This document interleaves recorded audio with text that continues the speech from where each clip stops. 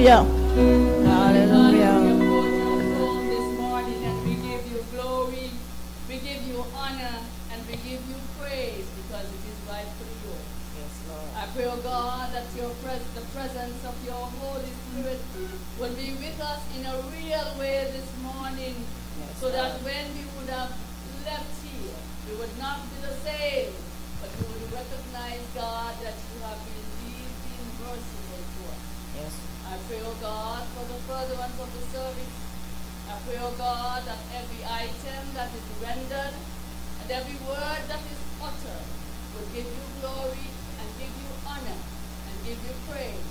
In Jesus' name, amen. The worship Amen. team will now take over.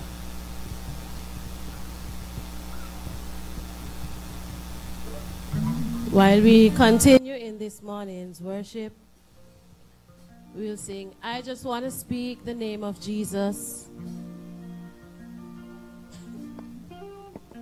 over every heart and every mind.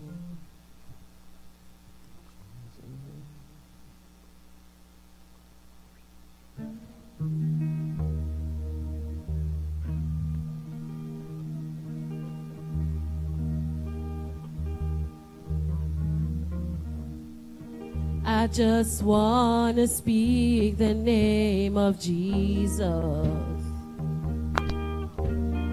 over every heart and every mind.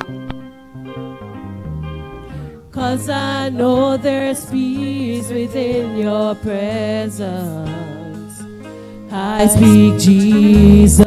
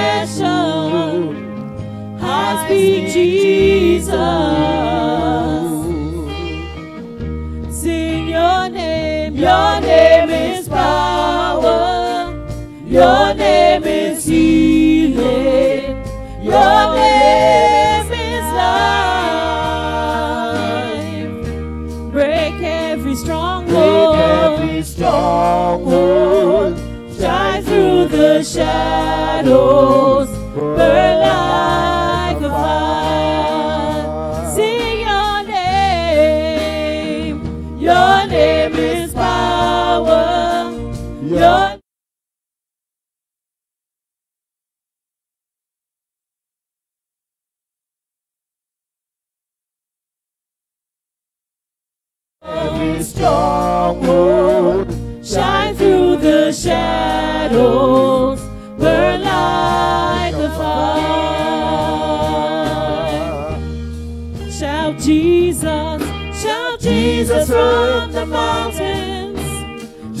Jesus in the streets, Jesus in the darkness over every enemy.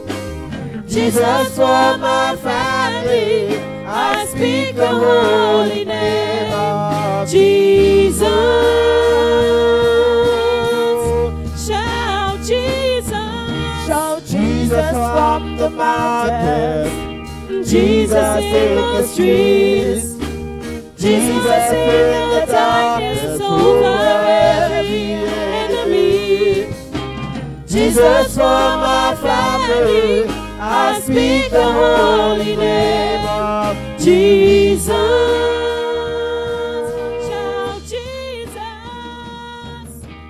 Jesus. On the mountains. Jesus in the streets. Jesus in the darkness oh, over every enemy.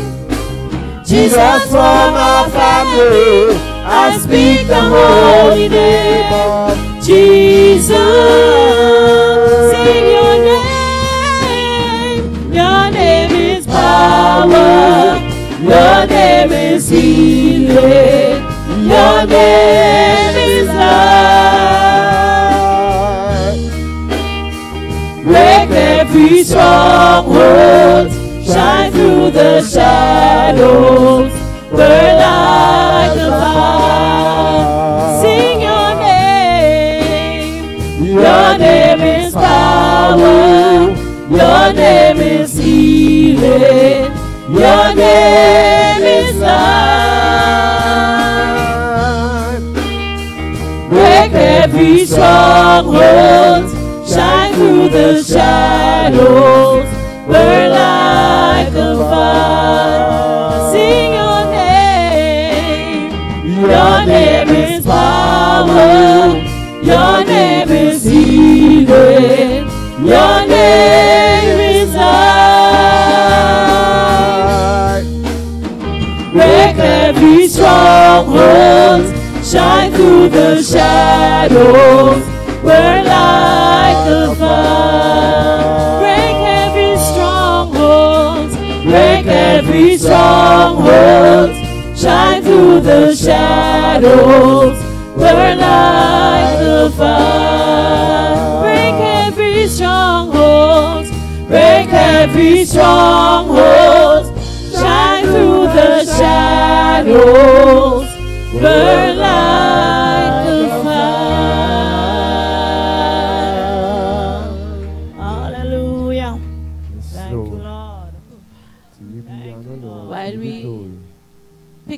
morning's tithes and offerings.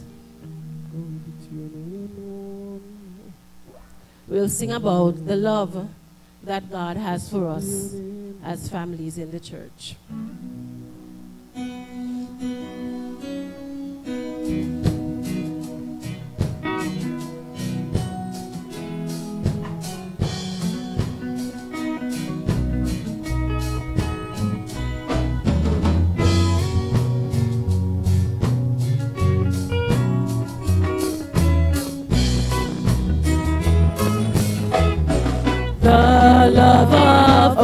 God is greater far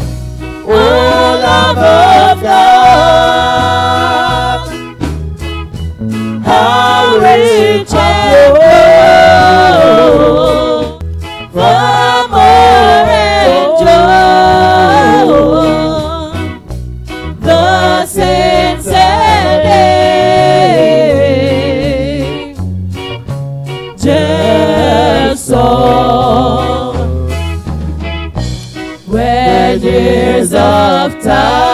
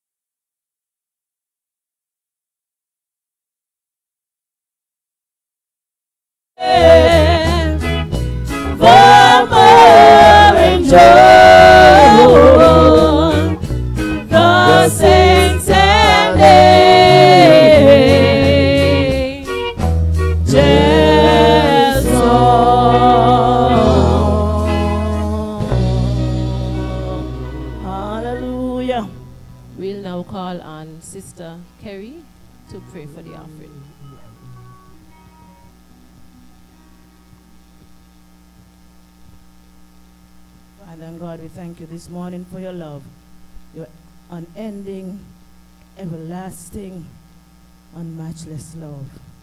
We thank you, dear God, that even though we are down and out in our sins, you have never left us. Father, we just want to say thank you for your goodness. We thank you, dear God, for this offering that your people have brought into your house. We pray that you will bless it and use it, oh God, for your kingdom alone. We thank you and we praise you for it in Jesus' name. We'll now call on the children to sing Building Up the Temple.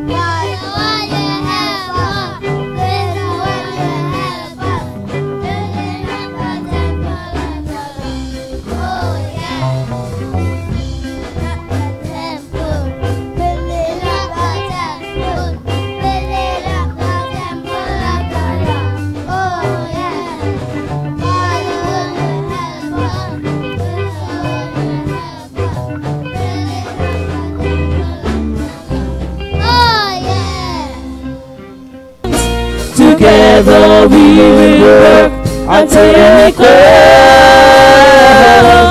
There's no foe that can defeat us. When they walk side to side.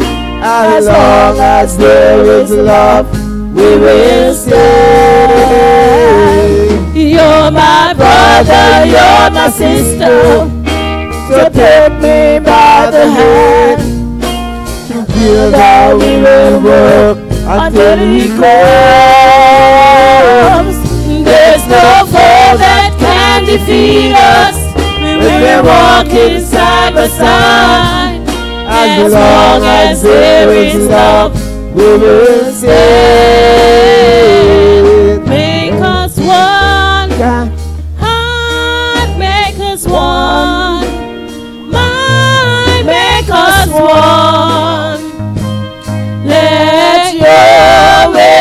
Done. Make us one. Flame to proclaim your name. Make us one. Make us one. Make us one. Bind us together with your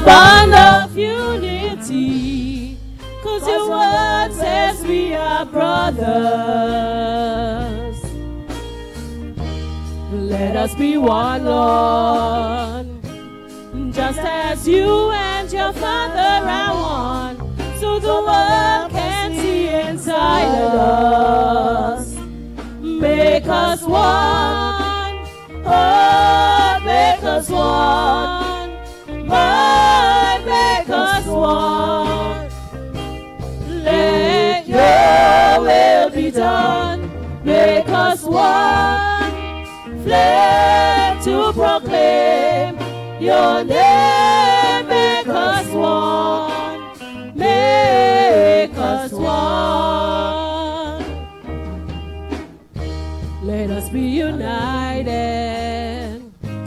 See each other through your eyes.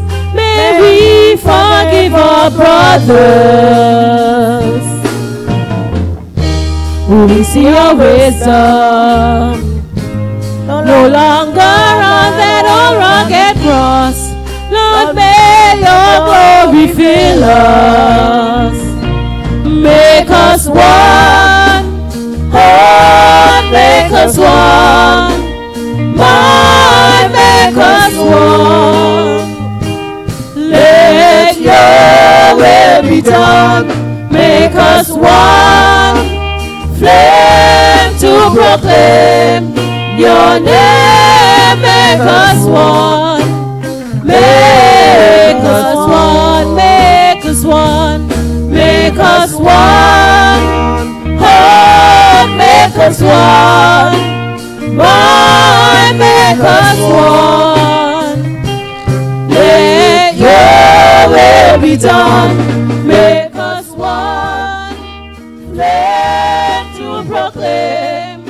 Make us one. Make us one. Make us one. Make us one. Oh, make us one. Why make us one? Let your will be done. Make us one. Flame to proclaim your name.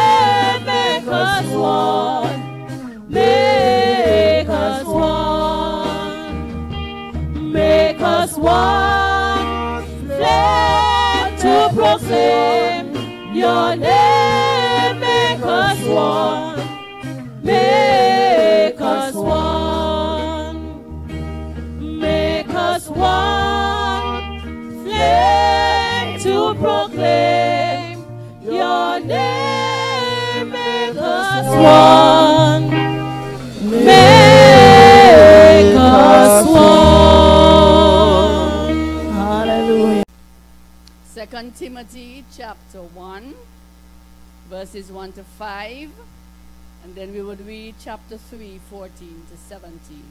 Could you please stand for the reading of God's word?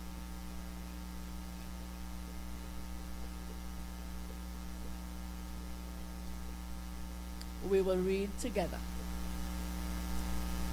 Here beginneth Paul, an apostle of Jesus Christ, by the will of God, according to the promise of life which is in Christ Jesus, to Timothy, my dearly beloved son.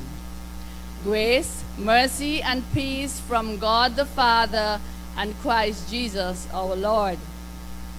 I thank God, whom I serve from my forefathers with pure conscience, that without ceasing I have remembrance of thee in my prayers night and day greatly desiring to see thee, being mindful of thy tears, that I may be filled with joy. When I call to remembrance the unfeigned faith that is in thee, which dwelt first in thy grandmother Lois and thy mother Eunice, and I am persuaded that in thee also. Chapter 3, 14 to 17.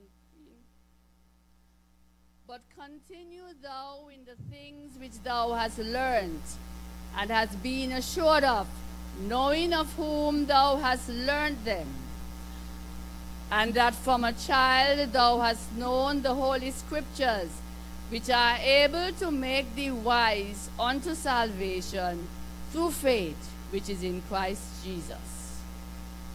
All scripture is given by inspiration of God and is profitable for doctrine, for reproof, for correction, for instruction in righteousness, that the man of God may be perfect, thoroughly furnished unto good, good, all good works. You may be seated. Heavenly Father, as I expound upon your word, I pray, O God, that you would grant me godly wisdom to say what you would want me to say, so that the words of my mouth and the meditation of my heart may be acceptable in your sight, O Lord, my strength and my Redeemer. This morning, although we read that particular scripture about Timothy, I want to bring for a close look at three families, three different type of families. In fact, as I was pondering on how to begin, I was trying to find a definition for family, and I decided not to use one. But I want you to think this morning of the family that you are a part of. The theme for this month of June, which is dubbed Family Month, says families fulfilling God's purpose. The scripture we read just now has Paul acknowledging that Timothy is not only a third generation Christian, but commended or praised the two women who were responsible for planting the seed of faith in Timothy's life his grandmother Lois and his mother Eunice. They had passed on a legacy of love for Christ that in time helped in the advancing of the kingdom of God. Note carefully. Timothy was a boy whose father, as I read, was Greek. And the Bible scholars say he was possibly a non believer. His father was not mentioned as being involved in his life. And some Bible scholars feel as if he died when Timothy was young. But Timothy grew to become a follower of Christ and was noticed by Paul on his second missionary journey to Lystra. Timothy's faith, his reputation, and character stood out, and Paul invited him to travel with him. Paul later referred to him as his son in the faith. He grew to trust Timothy so much that we would go on to read that he eventually gave Timothy the church in Ephesus to pastor. As a result of the teaching of love for and faith in Jesus, passed on by a grandmother and mother,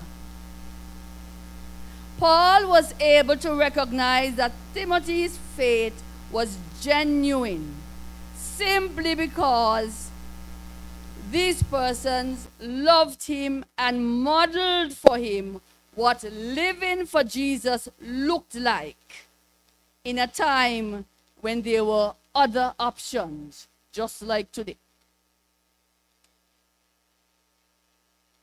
There's another family I want us to take a look at. Let's take a look at Joseph's family. Based on the story told in Genesis chapters 37 to 50, and I need to paraphrase this because it's long.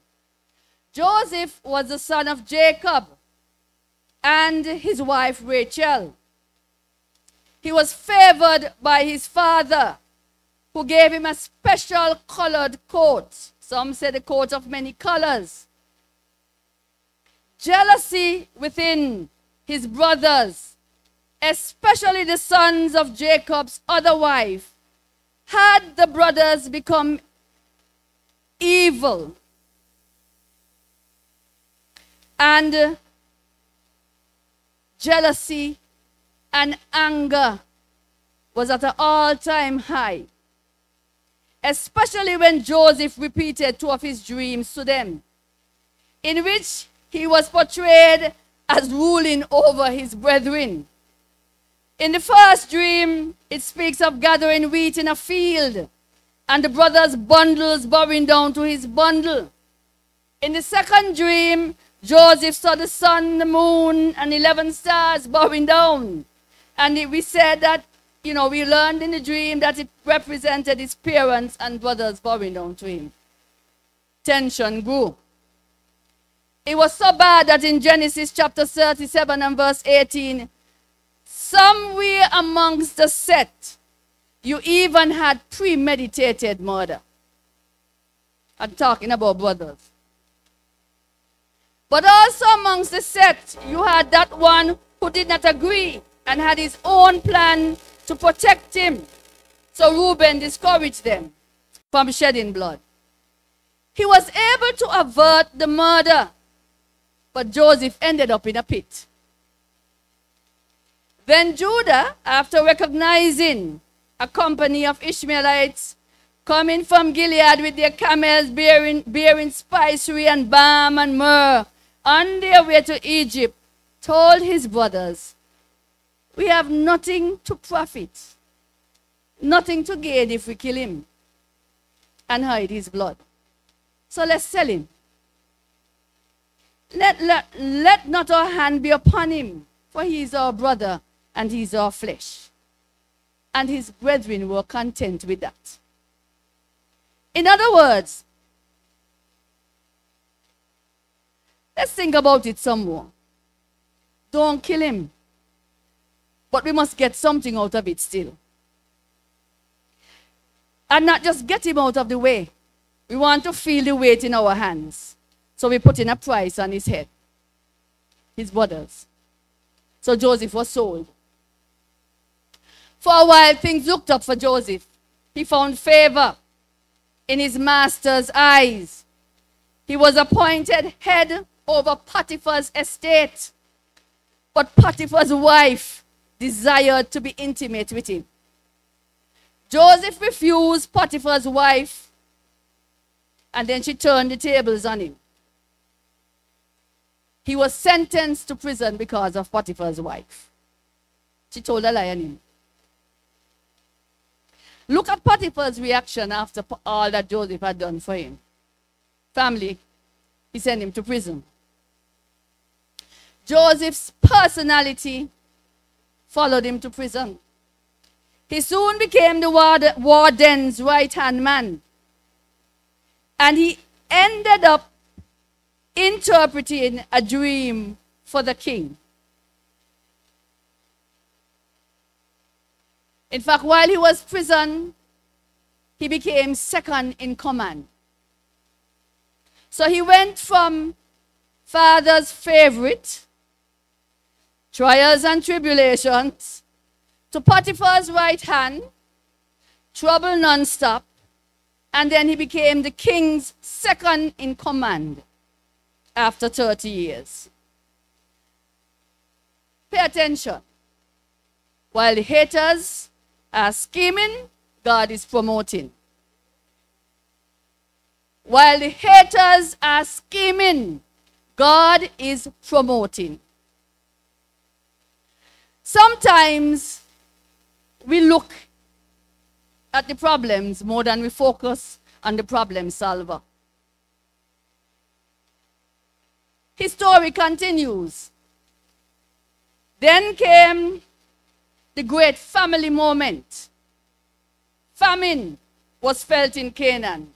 So his brothers had no choice but to go to look for food. And who did they bounce upon? Joseph. But Joseph remained righteous and he helped them.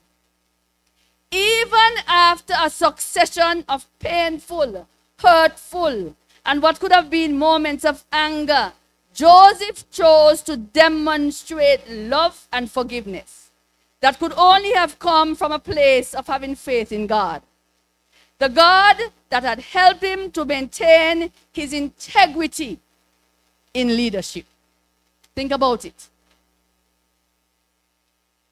Let's look at the third family. So that was a family with mother and father and siblings. Let's look at Jesus' earthly family. We are told and we read Jesus was born to Mary and Joseph. However, the scripture tells us that Joseph was not his biological father. Mary was found to be with child by the Holy Spirit. Matthew 1:18, Luke 1:35 states, Mary was a virgin who conceived for the Holy Spirit. And the scriptures references Jesus had brothers and sisters, cousins, aunts and uncles. Sometimes we don't go that far. But as I was studying and I was reflecting the Holy Spirit drew that to me. Sometimes we think that Jesus came and he wasn't a part of a family, he was a part of an earthly family. And obviously, there was good reason for God to take that route, for allowing, for coming to earth as a part of family.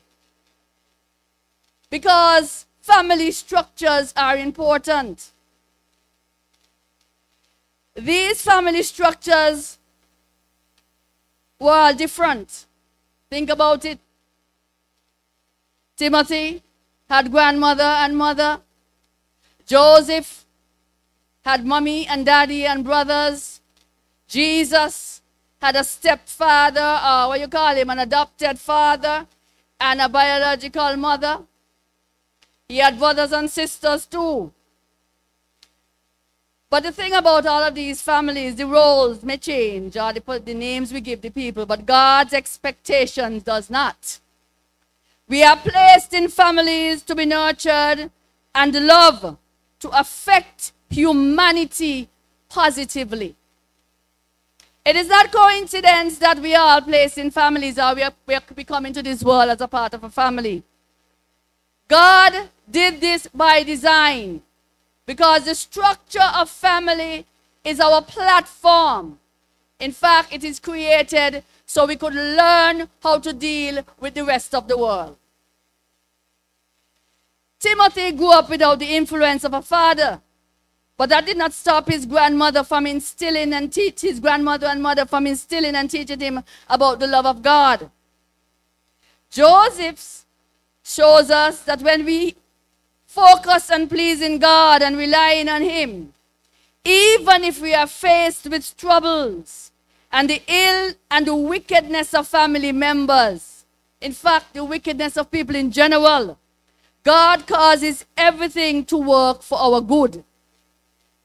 Jesus' storyline for the family component is often overlooked. Many people try to discard processing the importance of the adopted father. And sometimes it is the same with our relationships, like a stepmother. And you know, we talk about some people even say, oh, that ain't a real family, ain't your mother and father, and that kind of stuff. But let's go back to Jesus' story. I, I don't think that it was mentioned for it to be left out. It must have some significance. Because what I find quite strange, and I didn't pay much attention to it, is that when the lineage of Jesus is mentioned, it wasn't Mary's side of the family. It wasn't Mary's side of the family that was mentioned. It was Joseph's side. And that particular side had an interesting set of people. But it was Joseph's side of the family that was mentioned. And Joseph was not his biological father. In fact, in Jesus' lineage, a number of women and men were mentioned associated with all kinds of acts. But that did not stop God from selecting that particular route.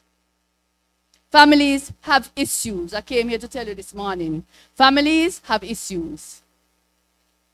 People become parents under all kinds of different circumstances.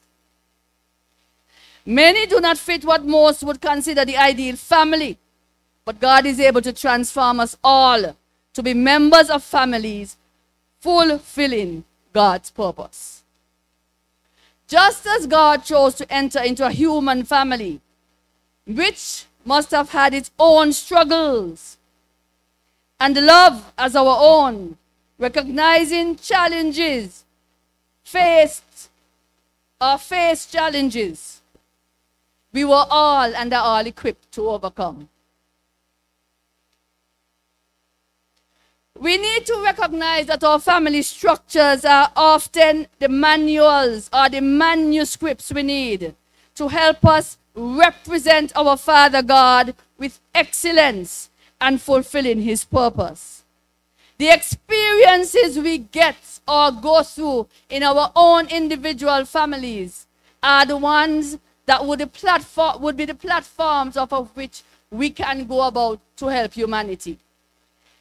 The reality is that if we find it easy to forgive our families for deeds done but not others, we have no excuse. In fact, while I was studying and reading, and I had to read a couple times because I'm a bit slow,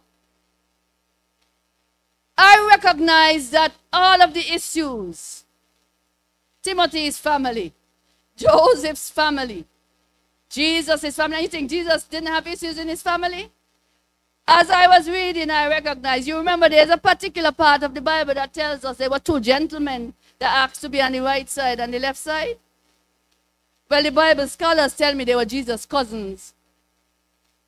And I was like, family, eh? They wanted to use the family connection. I was like, what? So I, read, I went and I went and I went and I did the research. I said, okay, Jesus, you had trouble too. That's just something that, I would, that, would have, that was mentioned. And what came to my spirit is that we really have no excuse for the hatred, the animosity, and the hard feeling we go around with with other individuals because God gave us family to practice on. In fact, we find it so easy to forgive family members, right? That have done us far worse things than some of our Christian brothers and sisters would ever do us. Sometimes it's just a difference of opinion they have, and you can't forgive them. We have children and relatives who have been rude, obnoxious, disrespectful, and we forgive them. But we write off somebody else's child because we had an unpleasant exchange with the parents or with them. Or the only time we could advocate for something is if it is directly related to our family or we have self interest. Stop and think about that. Something definitely has to be wrong with us, or our point, our viewpoint. I hope we recognize that we have all been set up in families. And I use the word set up with dual meaning. One, you have been placed in a particular family by God. And two, you have been positioned for fulfilling God's purpose. He gave us no excuse. Think about it.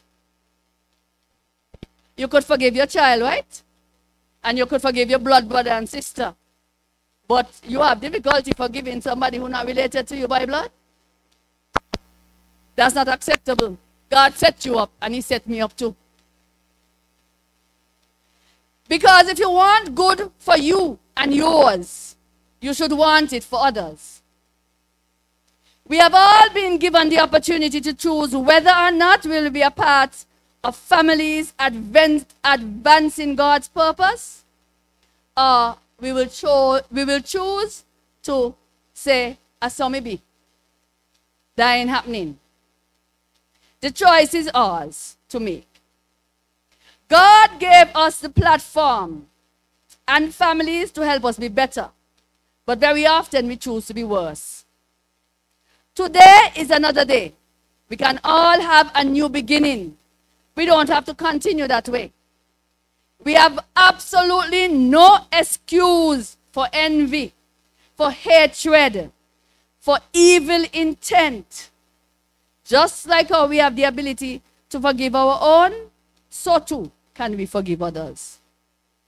Mark chapter 12 and verse 33 says, And to love him with all your heart and with all your understanding and with all the soul and with all your strength and to love your neighbor as you love himself as you love himself is more than all whole burnt offerings and sacrifices.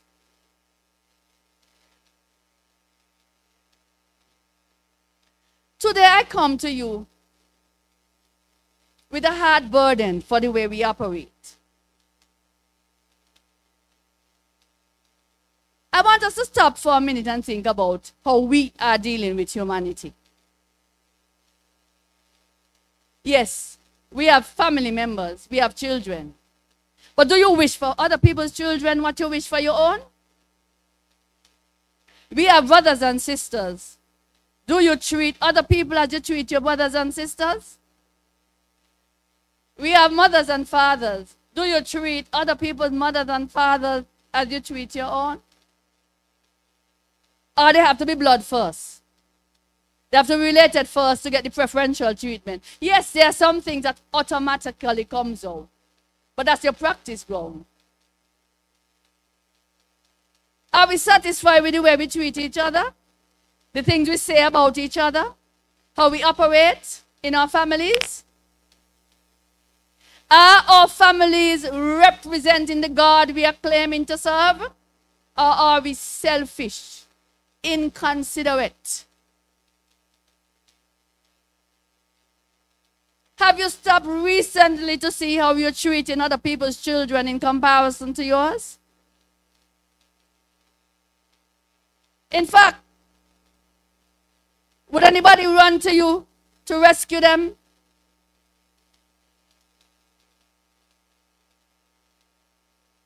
Would anybody call you to help them? Or they run away from you? Does anybody trust you?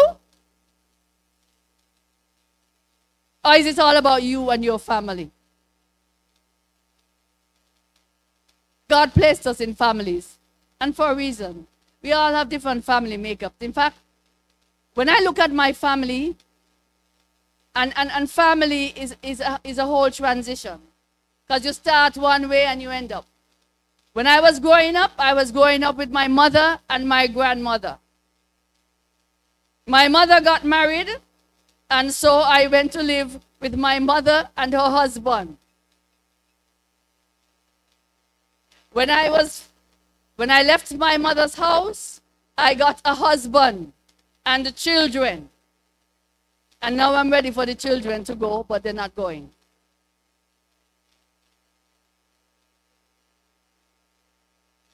But listen, I'm recognizing that every step, the step with my grandmother and my mother, was just like Lois and Eunice. Because they taught me the word. When, when I went to live with my mother and my stepfather, he cared for me like my father, like a father should. When I got married and I was now a mother to children and other people's children, the role shifted a bit. I had to be now providing guidance and love and nurturing. And now that I'm ready for my children to go, I still have to provide the love and the nurturing because they're not going anywhere. When I look at that and I model what is expected of me in this world as it relates to other people and other people's children and other people's brothers and sisters, do I give them preferential treatment to the point where I am being unfair and not representing God well? Is it any old sort of behavior that should come from us? No. God placed us in families for a reason. So we could learn to nurture, we could learn to love, and it is, that, it is with that same intensity we are supposed to be passing it on. If for any reason you're passing on venom and animosity and hatred and malice and envy, it is not in line with God's word. Let's go back to Joseph's story. Joseph had a choice, you know. In fact, I think Joseph was a very good Christian. I don't know if I would have been able to stand up like he did when I saw my brothers coming and needing food. I believe I would have had to let them know I remember all that you did to me first before I helped them. But he didn't. You know why? Because his faith in God had worked for him and he was now in a position to help them. And he wanted to represent God with excellence. Brothers and sisters, today all I have to ask or to tell you or to suggest to you is that taking the high road, you could never, ever be the loser. Sometimes you might feel as if you're getting the worst. But let me tell you, God never, ever leaves you. He comes up and he shows off for you on your behalf. You don't have to indulge in the hatred and the animosity and the pulling down, trying to make others look bad. No, you wouldn't do that for your children. You nurture them and you help them. That is how we are supposed to treat others. God got you. God got you. As long as you're desirous of pleasing God, God got you. Just like Joseph, brother said, don't let me dirty and you don't have to dirty your hands. People will be people. As I went through these stories, we have the same thing today. Every family got their own Joseph, your own Reuben, your own premeditated murderer, your own person who wants to make you look bad. Every family got them. You could call the name. But the choice is yours. How you going to represent God? Fix yourself. Our duty today is to fix ourselves so we could be that individual in the family that makes a difference. You don't have to, to give an eye, you don't have to be give vengeance for vengeance. Even when you're tempted to, to cuss, ask the Lord to help you hold your mouth. When you're tempted to retaliate, ask God to allow His Holy Spirit to guide you because when God fights, He don't miss. He's accurate. And He delivers His victory personally. He don't send anybody to tell you this is from God. You know it had to be God on your side. So, don't join the gangs. And don't join the ordinary individual who does not want to count on God. We can't make it in our families without God. And when you understand that you have to put God at the center, sometimes you have to suck up some stuff and wait. But that's what he says wait on me, man. Wait.